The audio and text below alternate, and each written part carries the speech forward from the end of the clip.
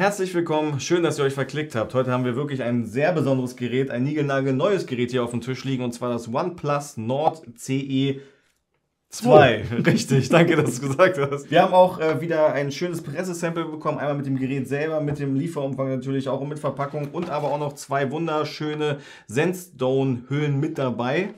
In blau und einmal in schwarz, die sich wieder wunderschön sandig anfühlen. Genau, damit könnt ihr auch die Fingernägel feilen, zwischendurch gar kein Problem. Die werden übrigens um die 20 Euro pro Hülle kosten, sagt OnePlus. Und das äh, OnePlus Nord CE 2. Übrigens könnte man auch noch 5G ranhängen. Stimmt. Aber das ist ein anderer Punkt, da kommen wir in der Konnektivitätszeit drauf zu sprechen. Kostet 349 Euro. So, so Ja. viel erstmal dazu. Hört sich eine Mittelklasse an. Ob Mittelklasse auch drin steckt, erfahren wir gleich. Erstmal gucken wir uns das Smartphone von außen an. Kunststoff können wir schon mal sagen. Rückseite und Rahmen besteht aus Kunststoff. Kunststoffrückseite, aber die interessant ist. Also Ja. kann man gut oder auch nicht so gut finden. Der obere Teil ist nämlich einfach komplett durchsichtig und diese blaue Farbe, die ihr seht, die sitzt sozusagen ein bisschen unter dem, was man anfasst. Also da ist ein gewisser Abstand da. Gibt es auch in Grau, ne? Habe ich gehört? Genau, grau sieht dann aber einfach langweiliger aus und ist ein super Fingerabdruckmagnet. Also äh, hier nehmt dieses wunderschöne Blau, was auch so in unterschiedlichen Farben so ein bisschen schimmern kann, je nachdem, wie es in die Kamera haltet. Ich glaube, die Kamera fängt es gar nicht so gut ein, aber mit einem bloßen Auge sieht man das ganz gut. Ansonsten haben wir abgerundete Seiten. Wir haben ein flaches Display. Wir haben auch einen Rahmen in der Farbe der Rückseite, finde ich auch sehr schön. Und der Kamerabumper, ja, der ist hier rausgegossen sozusagen. Das ist also ein Element, hier ist nichts draufgesetzt.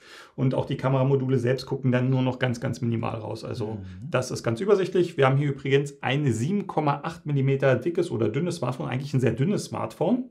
Also da kann man schon mal nicht klagen. Und ist auch wirklich tatsächlich federleicht mit Ja, ne? 173 Gramm. Mhm. Und äh, weil wir jetzt auch gerade noch mal ganz kurz über den Kunststoffrahmen geredet haben, fällt mir ein, dass wir leider Gottes noch einen Monolautsprecher haben. Ha! Schlecht. Ich, das finde ich wirklich nicht so gut. Ich verstehe es nicht, warum. Ah, Andere Hersteller kriegen es doch auch hin. Aber ich hätte mir einen Dual-Lautsprecher gerne. Er hört sich nicht schlecht an, aber ist halt kein Dual-Lautsprecher. Dafür hat man hier vielleicht auch was anderes gesetzt, was sehr, sehr cool ist. Man hat ein unter dem äh, Display Fingerabdrucksensor. Das heißt, wir haben hier auch ein AMOLED-Display verbaut. Wir können mal ganz kurz den Fingerabdrucksensor testen, der ein bisschen zu tief positioniert ist, aber ansonsten wirklich gut funktioniert. Also wenn ihr ihn trefft, wenn ihr ein bisschen Fingerakrobatik macht, dann funktioniert der sehr gut. Legt dann den Blick frei auf ein 6,43 Zoll großes AMOLED-Display mit 90 Hertz Full HD Plus Auflösung. Gut, kleinen Rändern, nicht den kleinsten der Welt, aber für ein flaches Display völlig okay. Das Einzige, was ein bisschen auffällt, ist das Kinn. Kleines Punchhole auch. Aber oben links, sieht man in letzter Zeit auch eher selten. Meistens sind die jetzt wirklich immer in der Mitte. Das war ein Smartphone mit oben links, Punchhole, aber wie du schon gesagt hast, schön klein. Damit auf diesem wunderschönen Display auch was erscheint, brauchen wir natürlich auch eine Software und wir haben hier als Betriebssystem Android 11 vorinstalliert. Ich würde mich freuen, wenn es Android 12 gewesen wäre, aber wenigstens nicht Android 10, ist auch gut.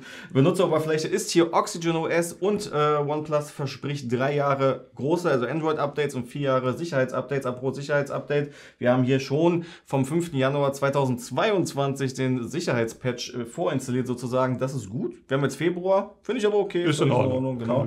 Oxygen OS, ihr werdet es wahrscheinlich schon kennen, ist eine wunderschöne Benutzeroberfläche. Ich mag sie, wir mögen sie auf jeden Fall. Da gibt es nichts zu meckern, auch viele Anpassungsmöglichkeiten. Wird auch über die drei Jahre Oxygen OS bleiben. Laut Aussage von OnePlus. Nähert sich ja immer wieder, oder nicht immer wieder, sondern näher, Oxygen OS nähert sich ja immer mehr Oppo quasi an, also Color OS, weil Oppo ja jetzt und OnePlus sozusagen eins sind irgendwie. Sie wachsen stärker zusammen, waren ja vorher auch schon verwandelt, aber ja, genau. Deswegen, Oxygen OS wird der Name auf jeden Fall bleiben, das Betriebssystem, das wurde versprochen. Aber ob das jetzt wirklich so das Oxygen OS bleibt, was man kennt und gewohnt ist, wage ich ein bisschen zu bezweifeln. Es wird wahrscheinlich ein bisschen mehr Richtung ColorOS gehen. Ich glaube auch beim, beim Laden, ne, es gibt auch jetzt, heißt auch VOOC Charger, Das aber da kommen wir ja gleich zu. kommen wir ja gleich zu. Ganz genau. Aber OnePlus und auch Oppo produzieren noch keine eigenen SoCs, deswegen brauchen sie hier äh, extern was. Und zwar gibt es hier einen MediaTek Dimensity 900 SoC, der ist hier verbaut. Alltagsleistung ist top, ihr könnt alles mögliche, äh, alle Apps öffnen, natürlich problemlos Spiele spielen könnt ihr ebenfalls, zumindest kleinere auf alle Fälle, ganz komplett problemlos, genauso gut wie bei 1000 Euro Smartphones. Ihr könnt aber auch ein bisschen grafikhungrigere Spiele spielen, eventuell müsst ihr hier und da mal nicht oder könnt nicht in der höchsten Grafikauflösung äh, zocken, aber das funktioniert hier auch mit dem Dimensity 900 problemlos. Das können wir auch gerne mal im Benchmark sehen, in, in, in Zahlen ausgedrückt sozusagen. Wir haben im Geekbench 5 Benchmark 704 Punkte im Single Quad-Core und 2151 Punkte im Multicore. Und wir testen das ja nicht nur im Geekbench, das heißt, wir schauen uns ja die Gesamtperformance an, denn wir haben hier auch Arbeitsspeicher verbaut. Yay! Wir haben hier 8 GB Arbeitsspeicher verbaut. Es gibt laut Datenblatt auch 6 GB, aber ob die nach Deutschland kommen, das wissen wir jetzt zu diesem Zeitpunkt tatsächlich noch nicht und der interne Speicher sind 128 GB. Wir haben ja gerade schon von dem SoC geredet, Mittelklasse SoC, aber die Konnektivität, also der Prozessor ist Mittelklasse sozusagen, aber die Konnektivität ist eigentlich Flaggschiffniveau, fast Flaggschiffniveau. Wir haben hier kein Wi-Fi 6E, aber Wi-Fi 6. Wir haben Dual 5G, wir können eine Speicherkarte sogar reinstecken, wir können sozusagen den Speicher in 128 GB können wir sogar noch erweitern, wenn wir möchten. Wir haben USB-C 2.0 Anschluss, Anschluss, das ist eher so Mittelklasse und nicht Flaggschiffniveau. Was haben wir noch? NFC haben wir.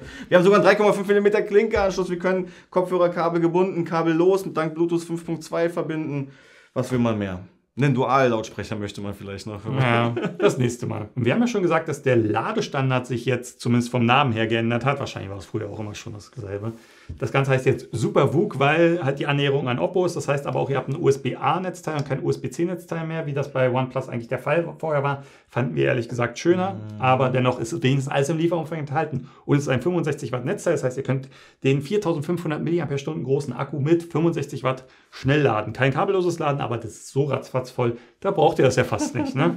Also, ähm, das ist auf jeden Fall schon mal super positiv. Da haben wir gedacht, naja, also 4500 mAh Akku ist jetzt ja nicht so gigantisch groß. Also wir finden ja schon 5000 mAh ganz gut.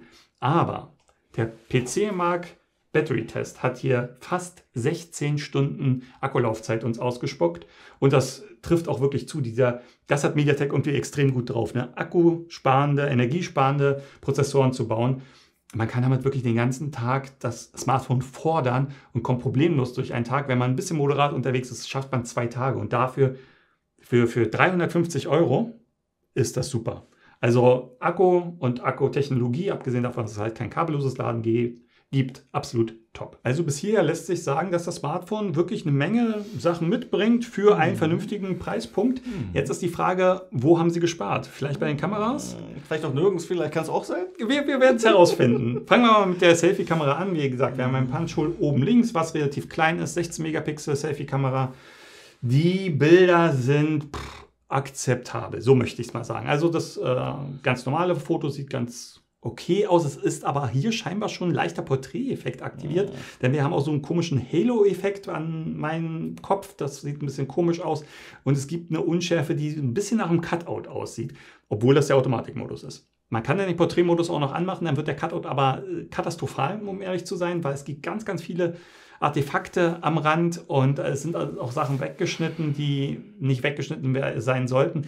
Das kann nicht so richtig überzeugen. Auch die Hautfarbe ist in beiden Fotos nicht so richtig überzeugend. Es ist okay als Selfie-Kamera, aber um ehrlich zu sein, haut uns das nicht vom Hocker.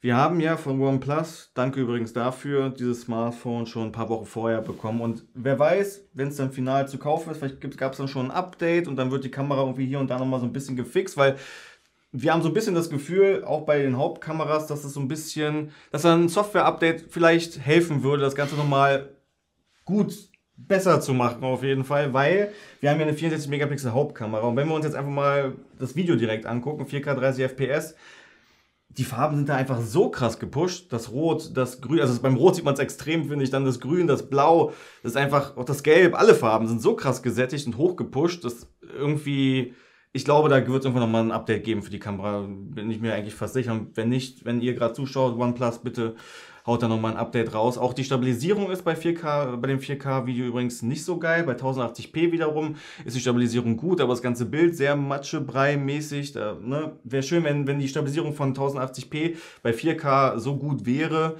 dann, und die Farben halt nicht so krass gesättigt werden, dann wäre es ein akzeptables Video, nennen wir es mal so. 8K geht hier aber nicht. Fotos sind okay, natürlich. Also für die Freunde, die natürliche Fotos mögen, also natürliche Farben, die werden hiermit wahrscheinlich zufrieden sein. Für mich persönlich, ich will jetzt nicht für Marco sprechen, weiß ich nicht, aber Kannst für mich, aber. okay, gut, dann auch, auch spreche ich für uns beide, äh, sind die Farben ein bisschen zu natürlich. Die könnten gerne ein bisschen mehr Push dort jedenfalls bei den Fotos äh, vertragen. Ähm, ansonsten kann man aber auch Porträtaufnahmen machen. Das seht ihr, wenn ich jetzt einfach mal, ich habe hab dich fotografiert, ich glaube ja, ne? Wir haben Marco fotografiert, wenn wir Marco jetzt vor die Kamera schmeißen, beim normalen Foto, es stimmt dann auch wieder irgendwas nicht so ganz. Also Marco sieht irgendwie ein bisschen ungesund aus. Ja, ich, ich, ich, ich fühle mich richtig krank, wenn ich mir das ja, Foto ne? angucke, um ehrlich zu sein, aber ich fühlte mich an dem Tag gar nicht krank. Ja, also deswegen, also ich glaube, ein Software-Update würde da Abhilfe schaffen. Ich kann mir auch vorstellen, dass da bestimmt noch mal was kommt. Ähm, ansonsten, wenn wir den Porträtmodus aber aktivieren, Porträtkamera haben wir nicht das, der Cutout ist wie bei, bei der Selfie-Kamera auch eben nicht perfekt, leider Gottes. Vielleicht hätte ich in der Porträtkamera Abhilfe auch geschafft, ne? wer weiß, vielleicht hätte es ja was gebracht. Ähm, aber leider Gottes ist der Cutout hier nicht der beste bei der Kamera.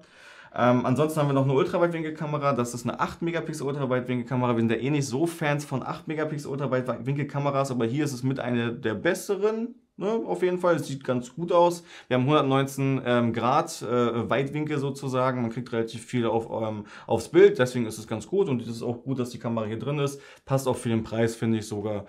13 Megapixel hätte ich gerne gesehen, aber ich finde, das ist eine der besseren 8 Megapixel äh, Ultraweitwinkelkamera auf jeden Fall. Da haben wir noch eine Makro Makrokamera, eine 2 Megapixel Makrokamera und da ist das Bild nicht so gut gelungen. Ja ist halt eine 2 Megapixel Makrokamera. Farben habe ich schon mal schlechter gesehen vor ein paar Jahren, wie bei 2 Megapixel Makrokameras, aber hätte man auch weglassen können auf jeden Fall. Der Nachtmodus, da gefällt uns das Ganze auch nicht so wirklich gut. Es wird irgendwie relativ lila auf einmal, ne, irgendwie die Farben. Kriegen, haben wir auch schon mal besser gesehen, sagen wir es mal so. Das, das Automatikfoto in Lowlight-Situationen sieht aber ein bisschen besser aus. Kann man vielleicht gerade noch so nutzen, wenn man denn möchte. Ja, also wie gesagt, das OnePlus Nord CE2 hat sich bis auf die Kameras sehr, sehr gut geschlagen. Bei den Kameras hoffen wir einfach mal drauf, dass es wirklich noch ein Update gibt. Wir haben es natürlich mit der neuesten Software, die uns zur Verfügung stand, getestet, aber es bedarf hier auf jeden Fall noch Nachjustierung. Ich glaube nicht, dass die Hardware das große Problem ist, sondern es fühlt sich ganz stark nach einem Softwareproblem an. Deswegen gibt es noch die Hoffnung, aber wir können euch natürlich immer nur von dem berichten, was wir zum Testzeitpunkt sehen. Und das ist auf jeden Fall nicht ideal, was die Kameras hier abliefern. An der einen oder anderen Stelle für einen Schnappschuss reicht das aus.